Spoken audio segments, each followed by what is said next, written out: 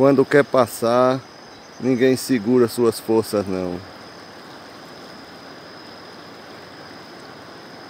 Forte e valente é aí.